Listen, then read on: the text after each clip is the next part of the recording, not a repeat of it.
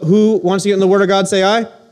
All right, Carol and Roy, we guys start making your way up here. So uh, we are so blessed uh, to have the Birches in this church family. Many of you guys know who they are, but if you don't, I get to introduce them. So these guys have been here longer than my family, and we came in '93. And Roy and Carol have been uh, walking with the Lord and serving God and in this church for so many years. Um, and these guys, you know what they do? They use their giftings for the Lord. They really love to use their giftings for the Lord, and they're very gifted. Both of them, in my opinion, could be leading very lucrative businesses in many ways. They both have been in the business world, but about uh, 13 years ago, they're just like, we want to go all in using our giftings only just for the Lord um, and for the nation of Israel. And that's where they've been uh, for 13 years. And uh, they're back now, and we're so blessed that Roy and Carol, you guys want to be in our church family?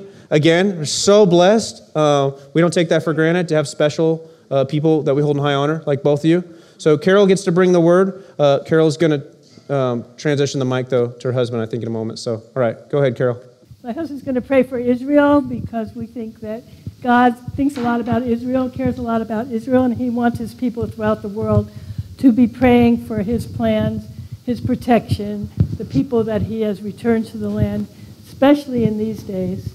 And in case you aren't aware of it, you know, what happens in Israel affects what happens in the United States.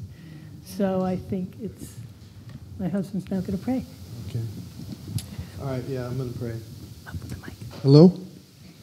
Um,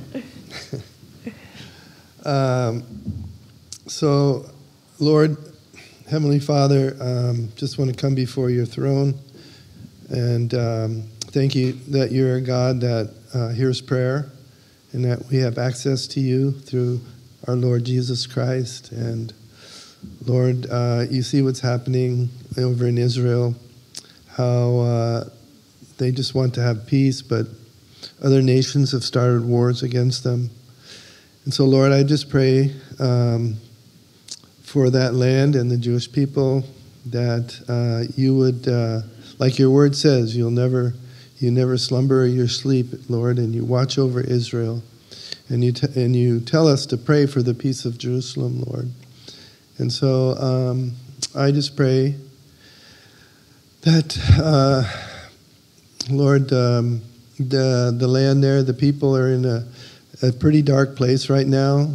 I've talked to my friends over there, and the whole spirit is uh, a lot of people are uh, stressed out and discouraged and Lord, we um, so we just pray to you that you would stretch out your hand and and uh, remember that land, remember Israel, remember your covenant with uh, the with Abraham, Isaac, and Jacob, and the Jewish people, Lord. And uh, Lord, you see there will be there will never really be peace because unless they turn to you, Lord, because you are the Prince of Peace. And uh, so, yeah, Lord, just want to uh, put these prayers before you, offer these prayers to you uh, from our church here, from each one of us. And in Jesus, your holy name, amen. So today we're going to look at Daniel 7. As you know, um, Josh and Randy have um, walked us through the first six chapters of the book of Daniel. And Daniel 7 is, um, if you read it from verse 1 to the end, you probably go, What's, I can't figure this out at all. But actually, it can be figured out somewhat, and that's what I'm going to try to do today. So before I, we actually dig into the scriptures, um, I want to set the stage because what Daniel 7 contains are the first visions and dreams, and therefore the first prophecies of Daniel that he himself received from God and gave to us. He interpreted dreams before and visions before, but those were other people's, you know, visions and dreams. But these are the first ones that Daniel received. So there are things we need to understand about prophecies, um, especially in this book. They are not always presented in chronological order. In other words, there's a beginning and then a middle and then we have the end. It's not like that at all. In most prophecies, especially in the Old Testament, and even um, in Matthew 24, which is a very prophetic book, And so we will see that for sure here. So um, let's see. Um, an example would be that at the very beginning we'll read about the beast and the fourth beast especially, and then later on in verse 19 we'll read something, and then in verse 27 we'll read something, and it's kind of like that. So that's the first thing we have to understand when we approach this book, that it doesn't come in chronological order. And the other thing to know about prophecies is they don't always refer to one time period. In other words, there's a prophecy here, like there was a prophecy about the return of Is- the Jewish people to the land of Israel.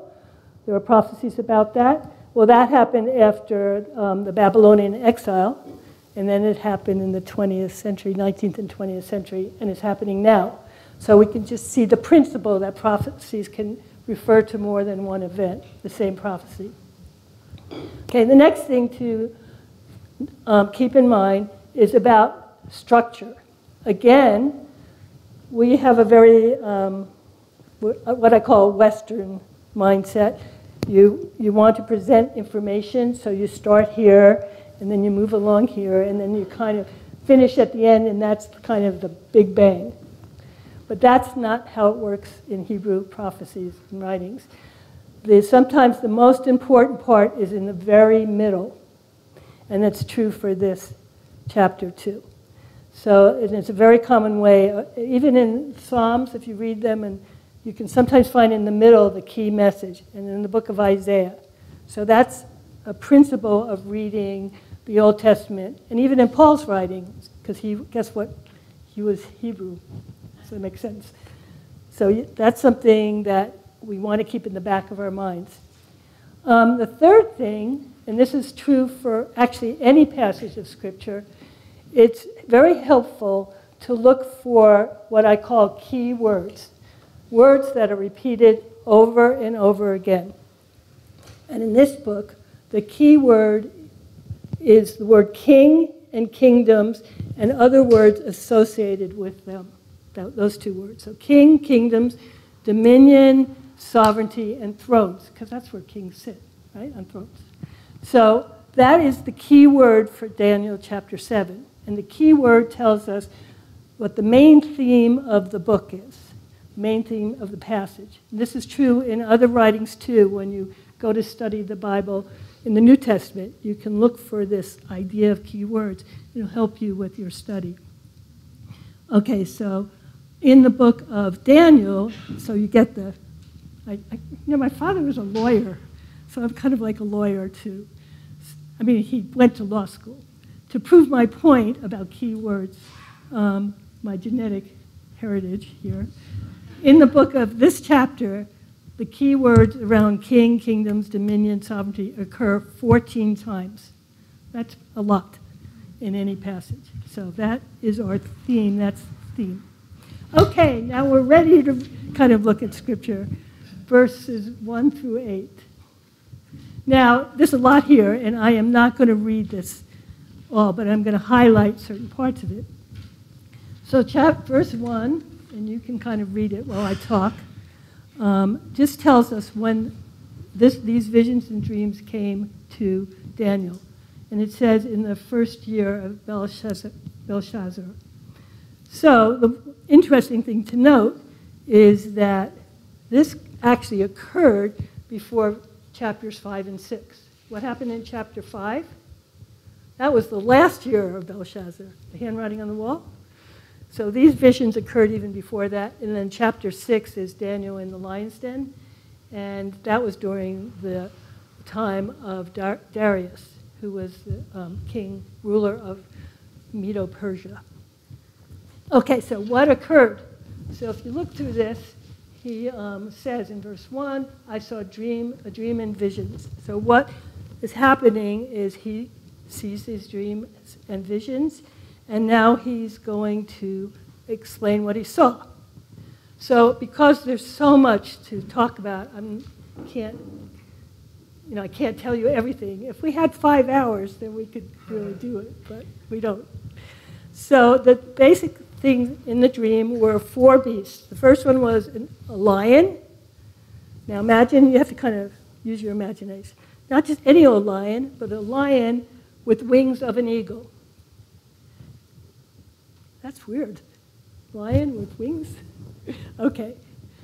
You can imagine what that must have looked like to Daniel. There was a bear with three ribs in his mouth, and a leopard with four heads and four wings. How many of you have seen leopards with four heads and four wings? So you get the idea. These were really strange and very vivid to Daniel. And then there's another beast that isn't even given an animal name, but he's given, um, so he's described as dreadful, highlighted here, dreadful, terrifying, and strong. So he's described, and he will be described again with these same words. So what are these? What do these animals represent? Well, in verse 17, which is not up here, I don't think, um, the explanation is clearly provided for us. Thank you, thank you, thank you. And what it says is these great beasts are four kings. Well, there's that theme again, key word. Four kings who will arise from the earth. And in verse 23, it says that the fourth beast, it goes into more detail about him, is will be a fourth kingdom. So really, the two words are different in Hebrew, king and kingdom, but it's the same concept. These are kings and kingdoms. Um, and that's what these animals represent. Okay, so does this ring a bell to anyone who heard um, the, the sermon on chapter 2? There were four, there's a statue and they had four different metals, right? It turns out it's the same, referring to the same kingdoms. And all scholars agree. So um, they represent the four kingdoms of Babylon, Medo Persia, Greece, and Rome. Okay? And this, this is the interesting thing, in case you forget how much you learned in ancient history when you were in high school, is that these actually existed in real history and in real time and in this order.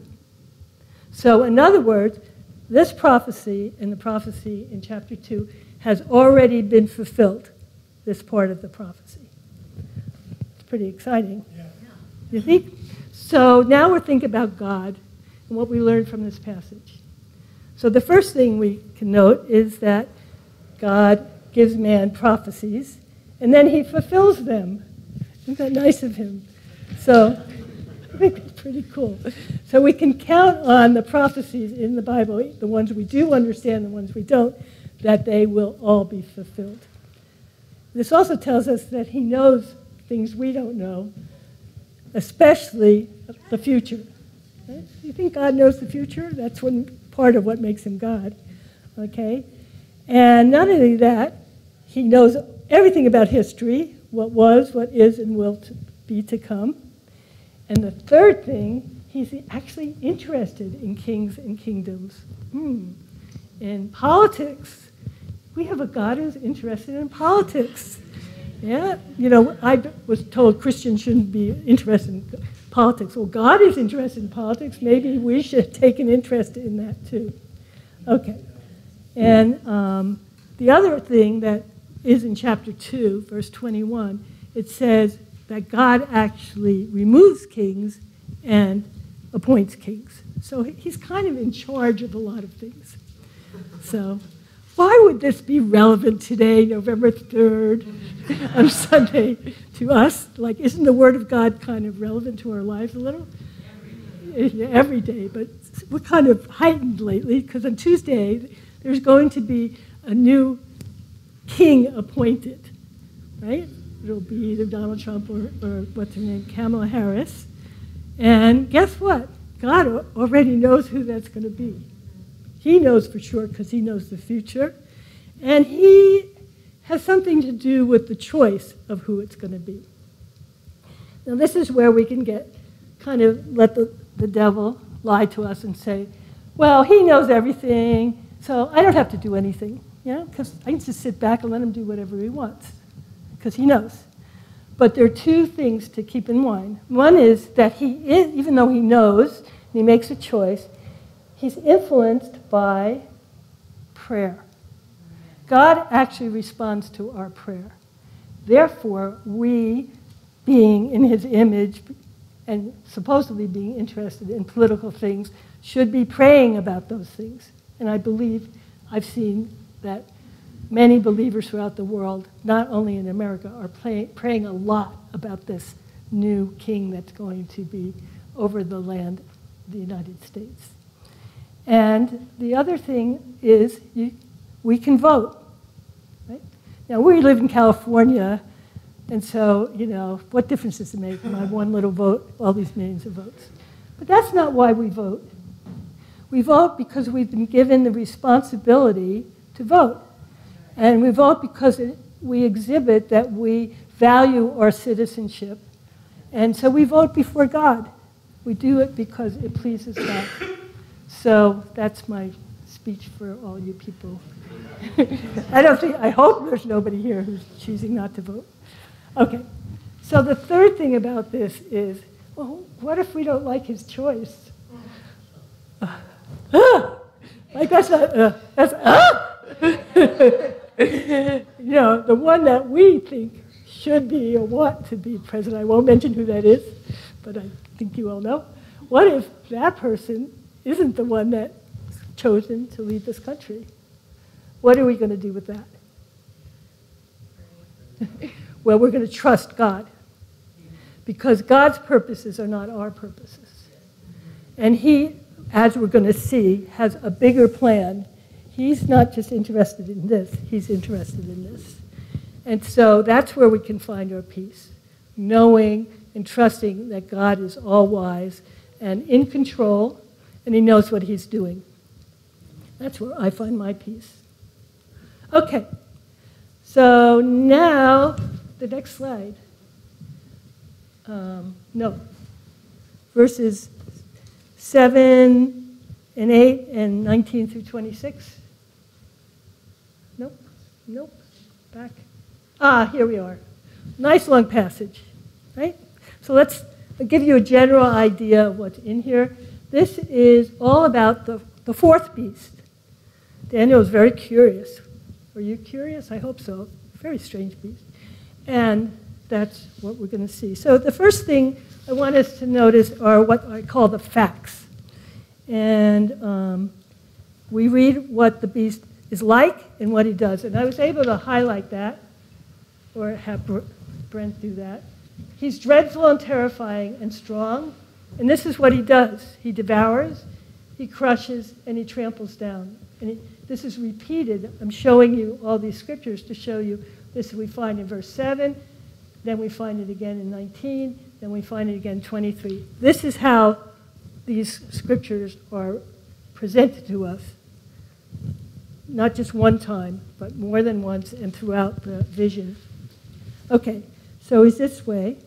And the other thing that you can read in there if you want to read or take my word for it, because it's in there, is that this beast, first of all, it's not like a nice little pet, you know?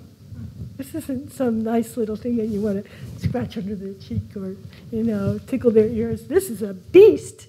And this is what the beast does. Very, very awful things. Okay, this beast has 10 horns. That's pretty good. So, first thing to note is the symbolism.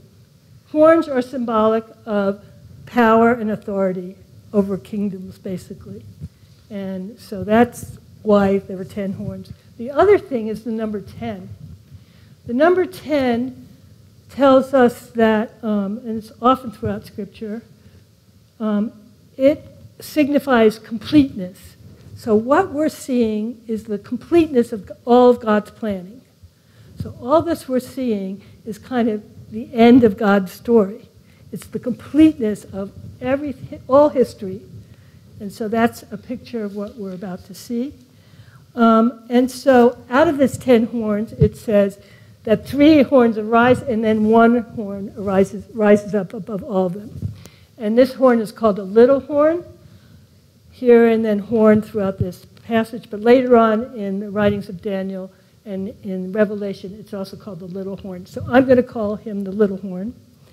And I noticed one of the things he did um, somewhere in verse uh, the last word of the first piece there, the word boasts, and then in the middle, the word boasts. So this little horn is very boastful, okay? And I said to myself, what, what do you think the most boastful thing he might be saying? That's it. What did you say? I am God. That's the most boastful thing any of us say. No, I am my own God. I don't need God as human beings. But he's saying, I am God. And he calls people to worship him later on in Revelation and so forth. The point being, that's his biggest boast. He boasts, he wages war against the saints, verse 21 and 25. I'm sure they're up here, and overpowers them. He speaks against God, verse 25, and he will intend to make alterations in times and in law. And that's what that really refers to is he, take, he wants to take the place of God.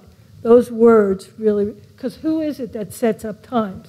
We are told that God is in charge of times and seasons, and he's the one that set up the laws for worship and also the, the law for what is good and evil. He, his law distinguishes what is good and what is evil. And so we can see this character trying to alter. Have you noticed that lately in the, when you look online and read things in newspaper, how things are being altered, what is right and what is wrong. All of a sudden, this is wrong and this is right. That's that spirit behind the operation of this little horn. He's, it also tells us he will be given dominion for a time, time, and half a time, which is biblical language for three and a half years. And it's in other places in Scripture, which is half of what? The time of the tribulation, verse 7.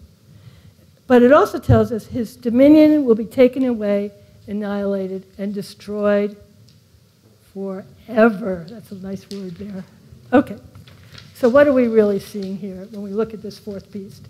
Now, what I'm about to say is supported by Bible scholars and also supported in further chapters of Daniel, Matthew 24, Second Thessalonians, Paul's writing, and the book of Revelation. So if we had the five hours, I could show you all those scriptures, but you have to take my word for it. Okay, so first of all, this fourth piece is more than more symbol, symbolic of more than just the Roman Empire. And this was true in the chapter 2 also. So it's really symbolic of a kingdom that encompasses the whole world. So, what does that mean? That one day there will be a one world government. Right? That's what that really means. And the whole world government. Okay. The little horn is symbolic of the Antichrist, the man who represents everything inspired by Satan, everything that stands against God and godliness. He will rise to power from within a league of ten kings, ten future kings. He will blaspheme God, persecute the saints during the tribulation, right up to the return of Jesus. Okay? And I already mentioned what time, times, and half times means. Okay, so what we have here is a glimpse, a glimpse of the final acts of God's drama a glimpse of the Antichrist and the end times. Okay, well, it's 2024, right? Why is that important now in this year? Because you know, we don't know when that's going to happen. Do you know when it's going to happen? No, I don't. Okay. Because it's coming to pass even now. Time, the, what's this is described is closer than it was yesterday, certainly closer than it was October 7th, certainly closer than it was, you know, 10 years ago. Uh, COVID. Anyone observe what happened during COVID? The whole world bowed to some dictate from the World Health Organization, and then there, underneath that, California, I heard like things were closed. You always had to wear masks. I don't. I didn't live here then. Um, you couldn't have church, right? And you had to have it in Zoom, and then maybe outside with only five. I don't know how it was, but we all felt the restrictions that were placed upon us, and we all more or less submitted to it. And what was it based on more than anything else, by the way? Fear, lies, and fear. It worked because people were afraid. It's just an observation. And it worked because there is an internet. The internet keeps us all connected, and basically, you can't do anything without the internet anymore. You need it for your phone, you need to pay bills, you need it for this and that. Okay? You get the picture. Has anyone heard of the World Economic Forum? Oh, good. I hadn't heard of it too more or less recently. And they meet every year in Davos, Switzerland. They're a group of the richest, uh, most influential people in all the world. And basically, they want a one world government. Okay, the scary thing is to look on their website, I, which I did. This is what their goal is. It sounds so good. Really sounds good. Improving the state of the world. Aren't we all for that? Ending poverty. Oh, yes, let's end poverty. Ensuring gender uh, equality, in other words, men and women treated equally. Um, protecting the planet. We must protect the planet global uh, cooperation, and so on. All sounds so good. And we don't need God's help to do it. We're going to do it ourselves. That's the missing ingredients. Okay. So those things tell us not only is it coming closer, but it's very possible. After COVID, I saw I came to the conclusion this is really possible to really get the whole world under one government. And there's one other little sign that tells us it's coming closer, my favorite one. 1948, the birth of Israel. Because Jesus said, Learn the parable from the fig tree, because as soon as its branch has become tender and sprouts its leaves, you will know that summer is near. The fig tree is symbolic of Israel. That's it. Okay, so what is our response to this? This fulfillment, this close, the coming closer to the fulfillment of Daniel 7? We are not to be afraid. We are not to be afraid, but we are to be aware. We know who knows um, the future. We know who know who's in control, and we are to trust. And God knows the very end of the story, and He gave it to us Ta-da! Next slide. Here, this is the very end of the story. Notice it's in the middle, verse 9. I kept looking until thrones were set up, and the Ancient of Days took his seat. His garment was white as snow, and the hair of his head like pure wool.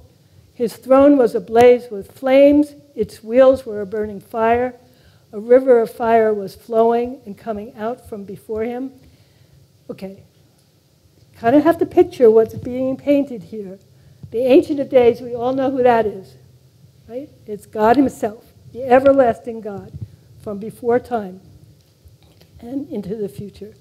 And all these descriptions are similar to descriptions in other passages in the Bible, especially Isaiah, Ezekiel, and Revelation. Okay, and so now what's happening, middle verse 10 thousands upon thousands were serving him, myriads upon myriads were standing before him. The court convened, and the books were opened. Okay, so what's this seat that he's taking? It's the judgment seat. And in Revelation 20, verse 11 through 13, there's the same picture in fuller detail. Okay. So, this is a glimpse of the judgment seat of God. Now, what is God's judgment? Would you like to know? Verse 11, I'm not sure. Yeah, there it is. It's up there. The beast is slain and burned in fire. So that's a future event. Verse 12 tells us, you can read it here, the dominion of all the beasts are taken away. And that already happened. That's the thing that happened. But it's interesting because when Daniel saw the vision, none of it had happened. When he had the vision, even the Medo Persians hadn't come into play yet. So what was his future is our past, but also what was his future is our future. Okay, what else is part of the um, end of the story? Next. I kept looking in the night visions, and behold, with the clouds of heaven, one like a son of man was coming, and he came up to the Ancient of Days and was presented before him. So, who's the Son of Man? Right. And in the book of Matthew, what did he call himself? How many times? 28. a lot. Just to make sure he was connecting himself to this vision. So he, um, and how is he, how is he coming? With clouds. Does that sound familiar? Matthew, Mark, Second Thessalonians, Revelation, all talk about Jesus coming in the clouds. See how prophecy works? You find it in other places, but it's here as clear as the bell. Okay. And to him was given dominion, honor, and a kingdom, so that all the peoples, nations, and populations of all languages might serve him. His dominion is an everlasting dominion which will not pass away, and his kingdom is one which will not be destroyed. So, what was that song we sang today? Jesus, do what? Have it all? Well, guess what? He will have it all, right? That's what this is telling us. He will have it all. Okay? So he's given dominion, glory, and the kingdom. So I want to highlight this picture because what this really is, is his coronation. Right? This whole scene is when King Jesus, Jesus comes before the Father and he is coronated. He's given the crown of crowns. He becomes Melech Melechim, the King of Kings. And this is what this scene is. This is the coronation of Jesus. I hope this excites your spirit because this is what's going to happen. And all people will serve him. And unlike the kingdoms of this earth, his kingdom will not be destroyed ever, ever. So, Paul writes in Ephesians 1:18 that he wants the eyes of our heart to be open, enlightened, so we would know two things: the hope of his calling and the riches of the glory of his inheritance in the saints. So, what is the inheritance of the saints? Well, we get to see that too. Verse um, 18, 22, and 27. That's in there somewhere. You can read it. We saints will receive the kingdom and possess the kingdom forever. We saints will take possession of the kingdom. It's the idea is repeated. The sovereignty, the dominion, and the greatness of all the kingdoms under the whole heaven will be given to us, the people of the saints of the highest one. This is our future. This is what God has prepared for us. When we think of what eternity is, we will have authority. We will be ruling as kings and priests with King Jesus forever and ever. Sounds pretty good to me. Okay, so why should we learn these things now? Because that seems so far away. Oh, and I have to pay bills tomorrow, and I have a dentist appointment, and my best friend's going for chemotherapy. You know, why should I, why should I know this? Well, for one thing, knowing these kind of prophecies um, give us hope. In all our circumstances, we have this hope. They also widen our vision and focus. I have a little bit of a pet peeve about life in America. We are like this. We really are focused on what's happening here and now. It's human nature.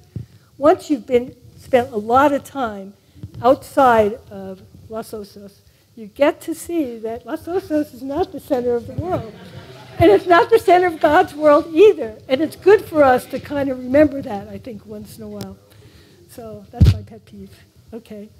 It helps us know God's purposes, and so we have a deeper understanding of what God's plan is. number. And so you know that there's no way that Israel is going to be wiped from the river to the sea, for example. That's never going to happen. Okay. We, it also should shape our view and motivate us to live a life of faith, because we can have faith in His Word. And um, yeah. So that's a good reason. So I want to tell you a little story before I end, because it's my story. Take off my glasses. I have to read. This I, I, I journal. Been journaling for years, and um, I am also now rereading my journal. And I came across the story. I wrote this in May 12, 2020.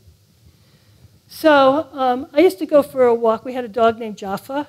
We lived near the desert, and I would take Jaffa for a walk. I now call this pathway um, back and forth, and I would walk and talk with God. So I don't even know why particularly, but for one day or one day when I was talking to God, this idea came into my mind that there was a courtroom up there in the heavens. God has a courtroom. And all of a sudden, you know, things, no, I don't see visions, but thoughts. I just imagine there was somebody who was, um, that I care very deeply about. I was standing in the courtroom, you know, God on the throne, big bench, the judge, and I was standing there next to somebody I care about very deeply. To the left was Satan, the accuser of the brethren, and to the right was Jesus. And so Satan stood up and began to tell, this is my mind's eye, all the things that this person that I cared about had done wrong. Well, the list was quite long, because we all have a long list when you think about it. And, and I wanted God to give him mercy. Oh, God, mercy, please, mercy. And Satan kept talking and talking.